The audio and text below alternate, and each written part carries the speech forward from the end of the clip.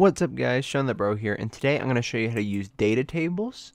This is a generic episode for Unreal Engine 4 and Unreal Engine 5.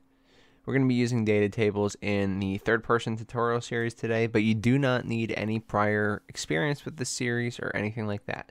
If you do want to catch up on the series beforehand to show to see all the cool stuff that we've been doing, then I'll leave a link in this side card right here to the very first episode of the third person tutorial series, as well as the entire playlist. Otherwise, we can go ahead and get started. I'm going to show you all the cool stuff that we can do with data tables. This is going to be the very, very basic introductory episode. In the next third person tutorial series, we will go over actually using this system with everything we've created because it can be very, very powerful, especially the way we've set it up. But essentially, a data table is just a file that has a list of data, just like an Excel sheet, and you can actually import an Excel sheet or a CSV file to get this data filled out. For now, we're going to create everything within the engine. Okay, so first things first, data tables require a structure to be created. So we already have an F weapon class in our case, or default weapon class in our case, and that's okay. We're going to leave that alone but we will transfer everything to a structure in the blueprint. That way we just have the variables to go off of.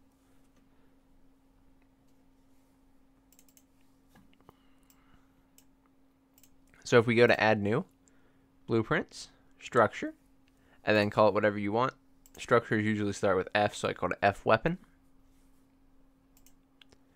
You'll get to a screen that looks like this, but you won't have any of these in here. You can click new variable to add a row. And we're going to make all these different all these variables in our structure.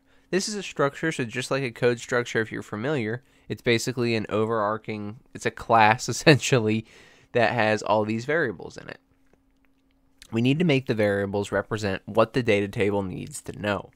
So the first thing that it needs to know is the name of the weapon, potentially the level requirement of the weapon, the damage that the weapon does, like base damage before modifiers, speed that the weapon has before, you know, again, base speed before modifiers, the type of weapon, in our case is like sword, dagger, axe, it helps determine our animation that we will use when we are holding that weapon. And then I actually have a class to spawn as well, which is an actor reference. So most of these are pretty easy. String, integer, float, float e-weapon type. Again, this is an enum that I have that we set up in the series that has these different types so that we can determine potentially uh, different attack states or animations while holding and attacking with them and perhaps for organizational purposes. So you can just search for any enum you have. It should come up as long as it's blueprint type. But otherwise, um, the the weird one here might be the actor reference that's purple here. And that's because this isn't actually an actor reference like we're used to seeing. This is an actor class reference. So type in actor and hover over it and you'll get this huge comment. But you see if you hover over it, you get these four options. You're going to want to go to the class reference.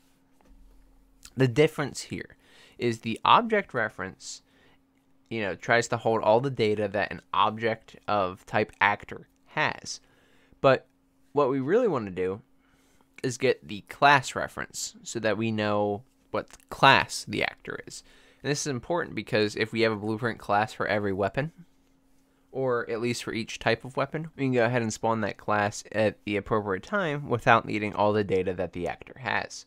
You can also use these soft references as well, and we very, very well may switch to them down the line. But for now, let's not get into any of that. Let's just work with the class reference. And now this is the class to spawn. You can set the default values for all these if you'd like. However, honestly, I usually just leave them blank. Then what we need to do is make our data table. So we can add new miscellaneous, and go to data table. There's also a composite data table, which is a data table that has other data tables in it. We don't want that right now.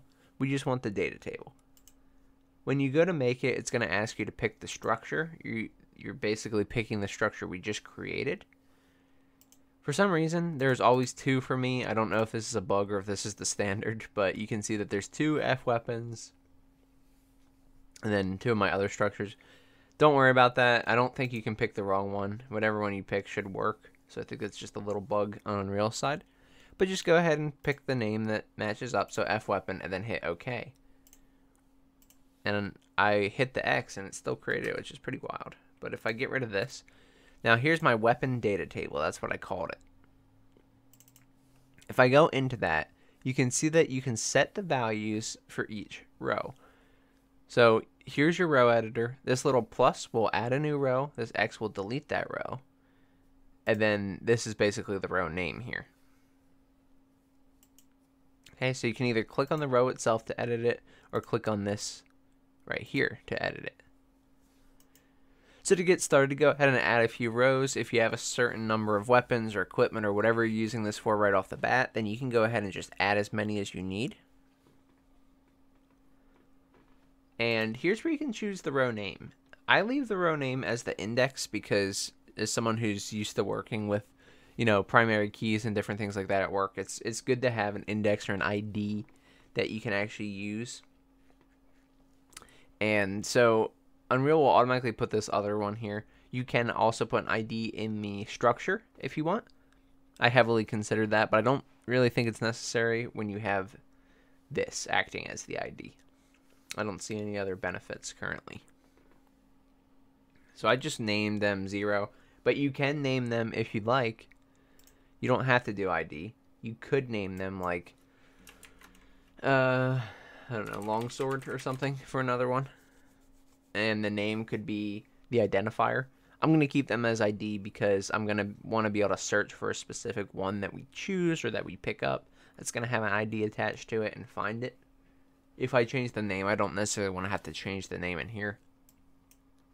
So I'm going to delete this row. Actually, we can use this row as the example instead of overwriting everything. So we can go ahead and type in here whatever we want. So the name would be longsword uh, I don't know. It doesn't really matter. Lava. like something fancy, right? And that's the name of your weapon. Level requirement could be 5. So you can only use this weapon if you're level 5 or above.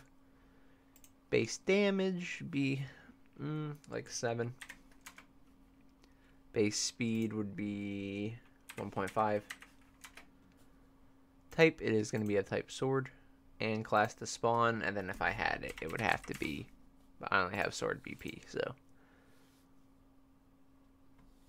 But if I had a different type for it, like I normally would if it was a weapon I was spawning, I could spawn it.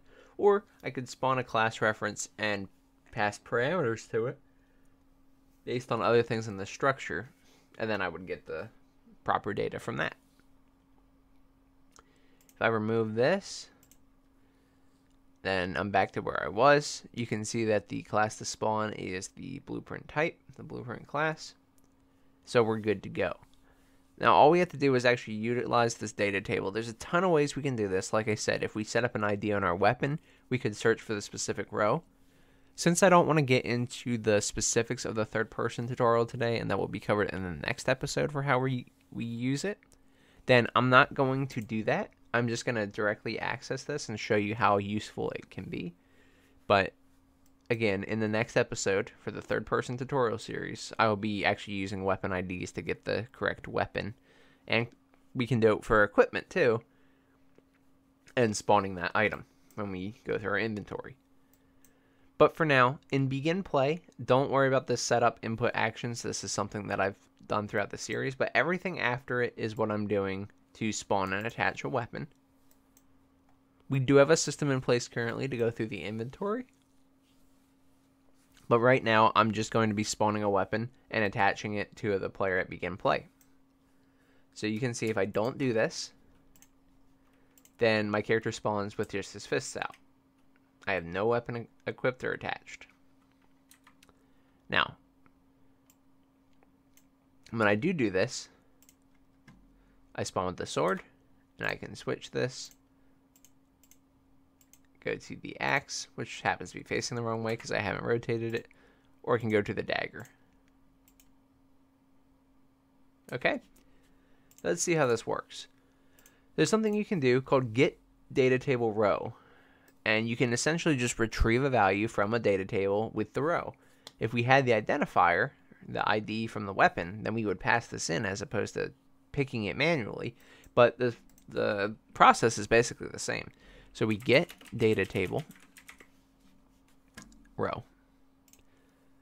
And then you go ahead and select the data table you want. I only have one, so it's very easy for me. And then for row name, I pick the row that I want. It determines if the row is found or not. If it's not found, you may want to return an error or just not do anything. But if it is found, then you can perform better logic. What I like to do is drag off out row and break it.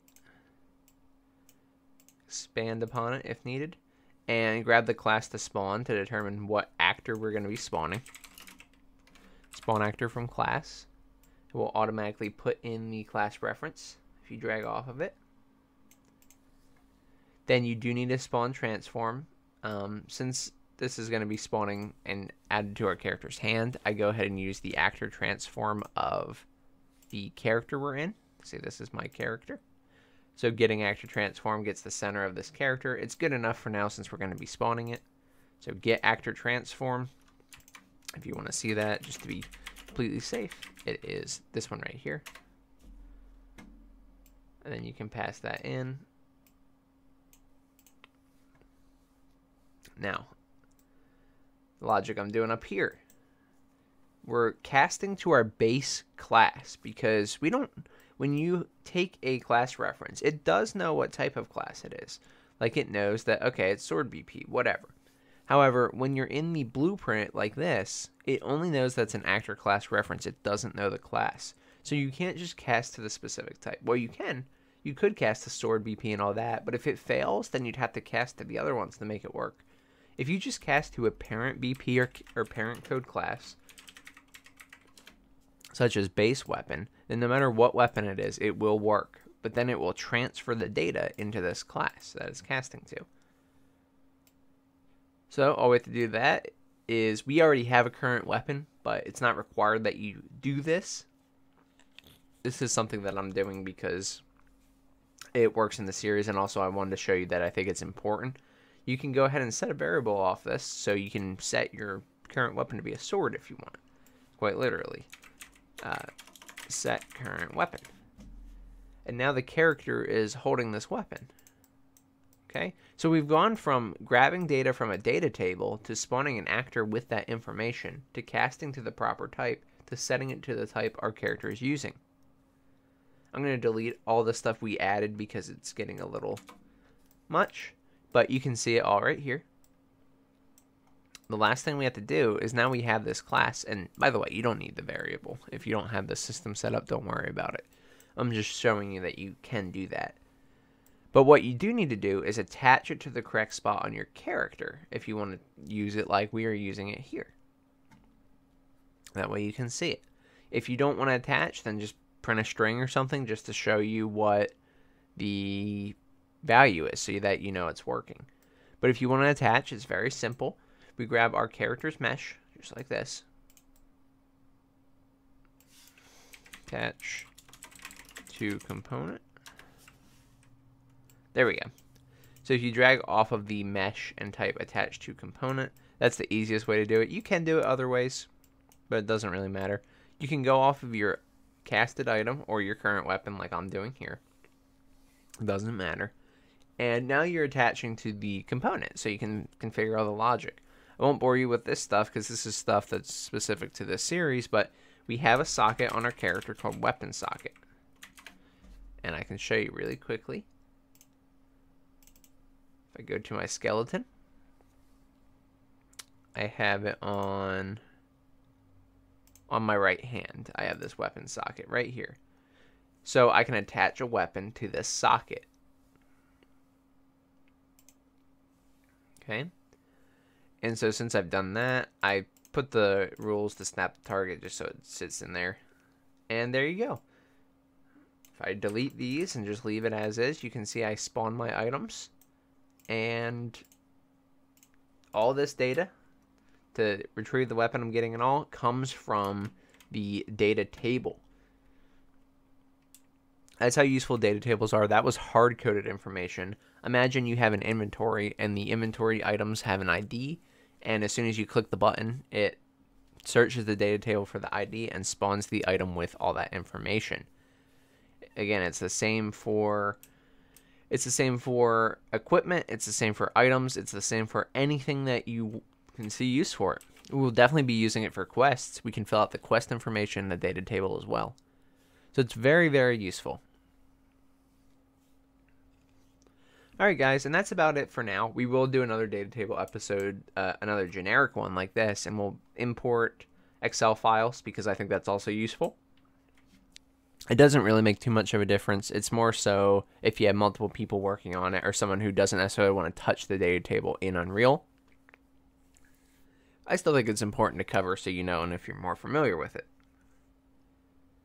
Alright guys, so that's all I got for you today. Thank you so much for watching. If you enjoyed and this helped you learn about data tables, please subscribe. It does more for me and the channel than anything else you can do, and it's completely free.